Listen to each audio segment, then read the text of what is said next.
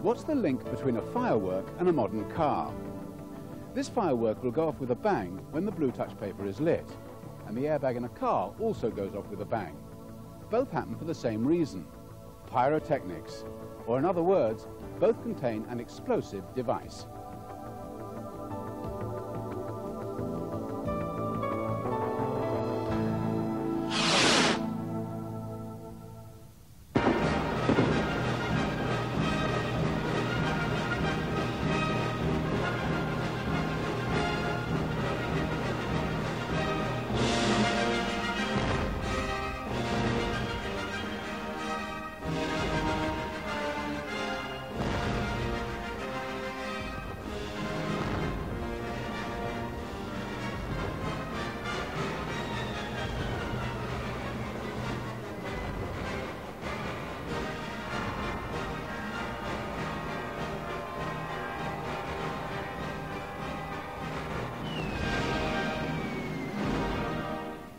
Range Rover and Discovery vehicles now have airbags. It's called a Supplementary Restraint System, or SRS for short. Before restraint systems were fitted, occupants could be thrown around inside a car, just like you see these dummies.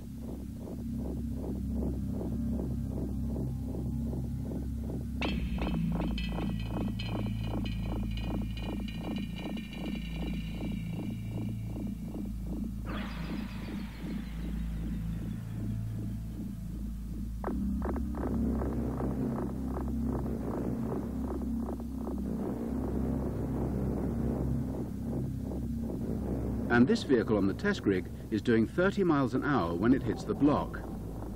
The majority of accidents occur at slower impact speeds, but you can see what could happen. So the wearing of seatbelts was made compulsory, and it had a dramatic effect on the number of deaths and serious injuries as a result of road accidents. But more was needed to protect the occupants and hence the introduction of airbags. This has brought its own set of problems in service. Because of their explosive potential, we tend to be a bit nervous about handling them. So in this program, we're going to uncover some of the mystique which surrounds SRS systems by telling you how they work and the do's and don'ts in service, so you'll know how to handle them with confidence and safety. But before we get into details, let's first dispel some misconceptions. The airbag will only deploy in a major accident. The system is so designed that it's activated only if the severity of impact is such that the driver's head might hit the steering wheel, or the fascia in the case of a passenger, even when seatbelts are warm. The system is also designed so that airbags will only deploy in a frontal collision, or at most within about 30 degrees of a head-on. They won't in a side or rear impact or a rollover. Nor will they deploy under rough driving conditions. We put all our vehicles through an extremely arduous testing program to make sure they don't. Airbags do not replace seatbelts.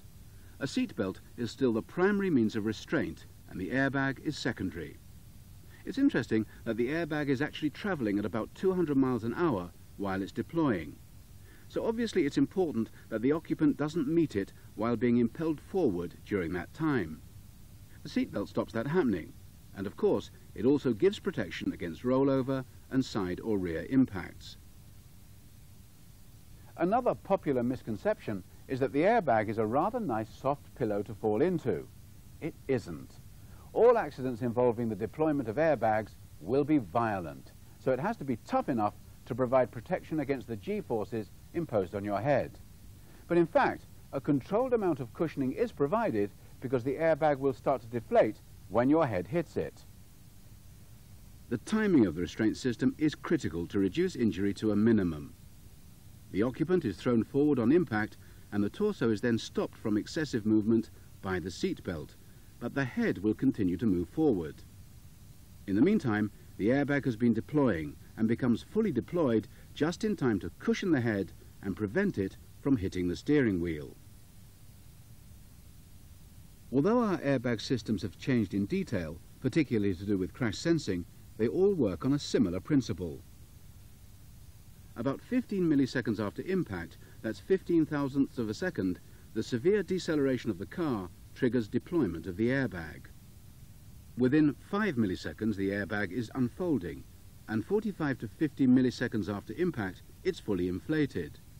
By approximately 120 milliseconds, that's about half the time it takes to blink an eye, the occupant will have moved back in the seat, the airbag will have deflated, and visibility is restored. So, how does it all happen? The driver's airbag is mounted in the steering wheel, and if a front seat passenger's airbag is fitted, it's here, in the fascia. If the system is deployed, the padding tears open along special break lines to allow the airbags to open. On current Range Rovers and Discoveries, the major components to operate the system, that is the deceleration sensors and the electronics, are located in the Diagnostic and Control Unit, or DCU, like this one, mounted between the front seats. It's called a single point sense system.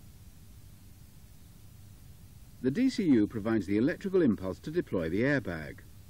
There are two release sensors, a crash sensor and a safing sensor. These register the severity of the impact and both sensors have to be activated to cause deployment. On our latest vehicles, the crash sensor is an electronic device which generates a signal related to vehicle deceleration. The DCU monitors this crash signal and uses it to decide if the deceleration is severe enough to warrant airbag deployment. The safing sensor is wired in series to the crash sensor. It's an electromechanical device. Under heavy deceleration, a metal weight, normally held back by a spring, is thrown forward and completes an electrical contact. This safing sensor ensures that a spurious electrical signal from the crash sensor doesn't cause airbag deployment. So the inbuilt safety factor is that both sensors have to close before the airbags are actioned. Current Range Rover vehicles for North America have a distributed system. Its most obvious difference from the single point sense system is that two crash sensors are fitted and they are located on either side near the front of the vehicle.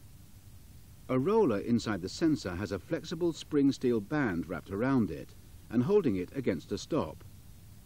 In a sudden deceleration, the roller tries to overcome the resistance of the spring steel strip, and in a severe impact, the roller will move far enough to complete an electrical circuit. The safing sensor is in the DCU and works in a similar way to the single-point sense system. In both types, the DCU is powered from the car's electrical system. But a point which must be mentioned here is that deployment is not fired from the battery itself, but is actually from a charge stored in a capacitor in the DCU. This is done to make sure that if the battery disconnects on impact, the airbag can still be fired. This is the gas generator. It comprises an ignition device in the small central chamber surrounded by a supplementary charge and by fuel tablets in the larger outer chamber. Inflation happens in two stages. The electrical impulse from the DCU capacitor causes the ignition device to ignite the supplementary charge. This in turn ignites the main charge of fuel tablets which generate the gas to inflate the airbag.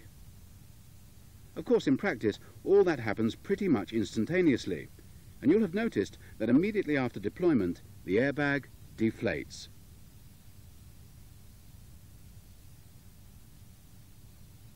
One other component to mention is this SRS warning light. It illuminates for about five seconds when the ignition is switched on. And during that time, a testing cycle of the complete airbag system is made by the DCU. If it then goes out, all is well. If it doesn't come on, or if it doesn't go out, there's a fault in the system which you will be able to diagnose using Testbook. Of course, the DCU continues to monitor the SRS system while the ignition is on.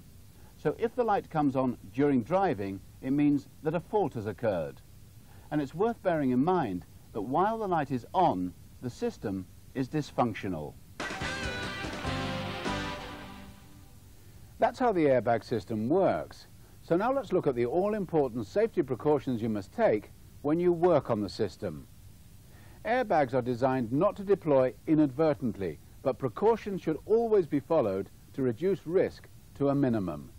Most of the rules are common sense, but bear in mind that because the equipment is pyrotechnic, it is legally covered by the Explosives Act, which includes things like handling and storage. Before working on the system, switch off, remove the key and disconnect both battery leads. Then wait for 10 minutes. This is to ensure that the capacitor is fully discharged. And if you are removing or fitting an airbag, it makes sense not to work directly in front of it. Keep to one side. Before you reconnect the battery, ensure all mechanical fixings of the airbag system are correctly torqued. And it's good practice to make sure no one is inside the car. Here are some things you shouldn't do. The airbag and the DCU are shock sensitive, so they must be handled with care. Don't drop them.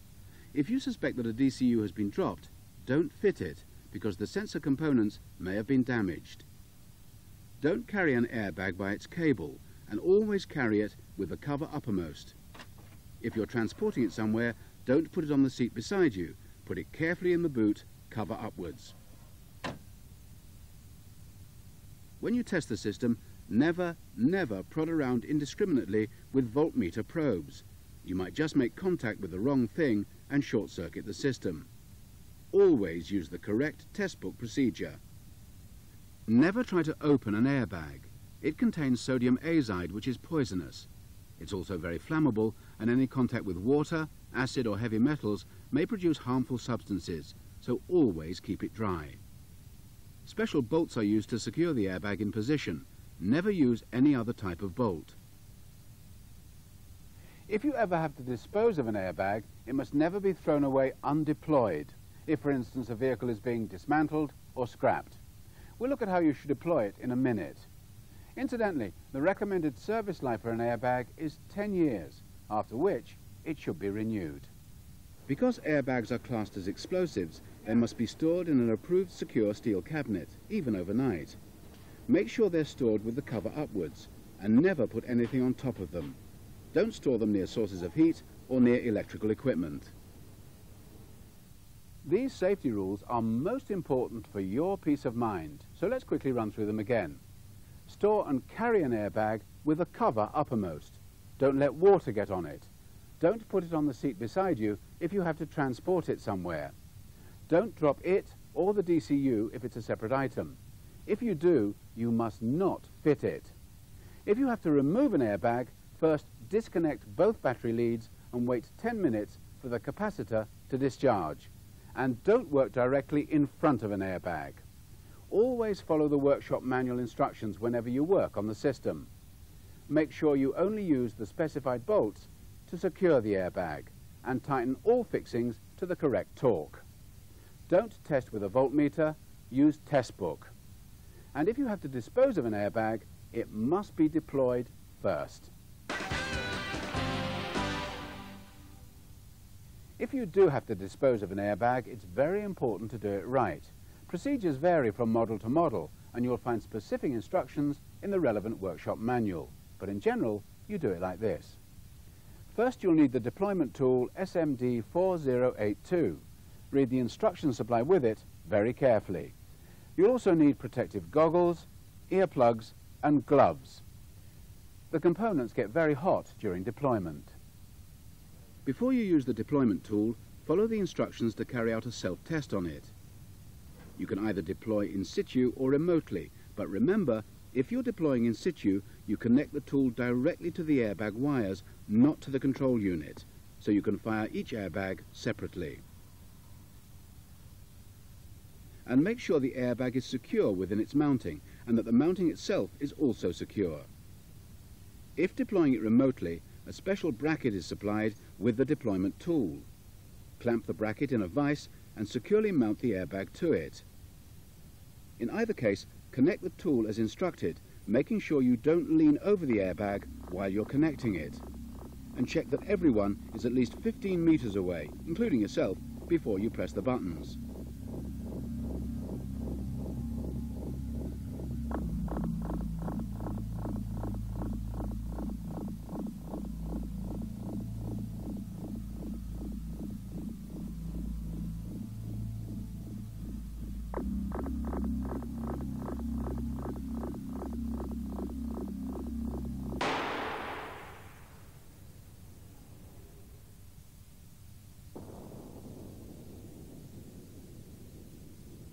Then leave it for half an hour to cool down. Once you've done all that, put the deployed unit into a plastic bag and seal it ready for disposal. If you're repairing a damaged vehicle in which the airbag has been deployed, there are a number of components which must be renewed.